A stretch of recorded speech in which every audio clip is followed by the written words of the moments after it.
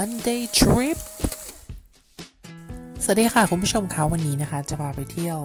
ที่ทะเลสาบบอมบักซีนะคะ ซึ่งอยู่ไม่ไกลจากเมืองที่โจนาอยู่มากนะคะ ก็ขับรถมาประมาณ ครึ่งชั่วโมงนะคะ ก็จะถึงที่ทะเลสาบ ตอนนี้ก็เป็นพอร์ตที่เราจะรอขึ้นเรือนะคะ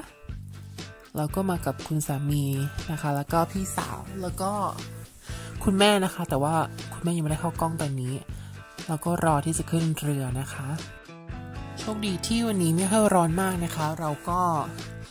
สบายๆค่ะ อากาศประมาณ 20 องศานะคะก็ทุกคนต้องใส่หน้ากากนะคะ เพื่อป้องกันเชื้อโคโรนาไวรัสค่ะ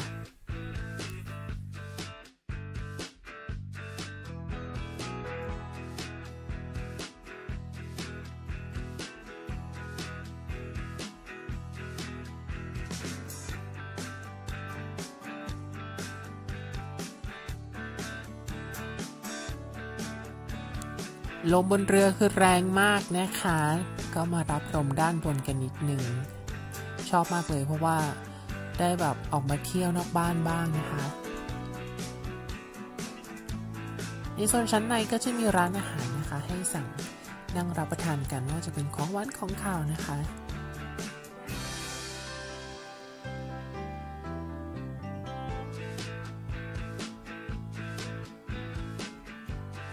และนี่ก็คือเมนูของเราวันนี้นะครับ เป็นขาหมูเยอรมันนั่นเองนะคะ หนังกรอบกรอบกับน้ำซอสและก็คนุเดินค่ะมองวิวรอบข้างก็จะเห็นชายหาดบ้างนะคะ ก็ ถือว่าถ้าใครอยากมา relax นะคะ ก็ลองหาข้อมูลดูนะคะ ใครที่อยู่เยอรมันนะคะ ก็ลอง book ตั๋วแล้วก็พาครอบครัวมาเที่ยวค่ะรับรองไม่ผิดหวัง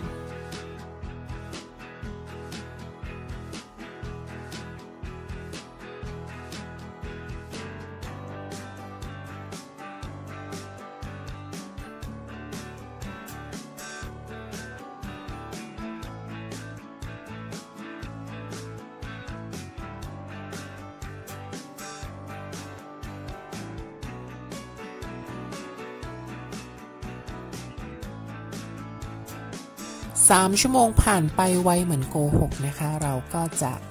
ได้เวลานะคะกับขึ้นฝั่งนะคะ แล้วก็ขับรถกลับบ้าน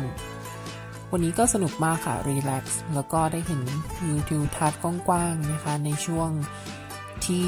โควิดแบบนี้เราไปไหนไม่ได้นะคะ ก็เนี่ยค่ะ มาเที่ยวบนเรือกัน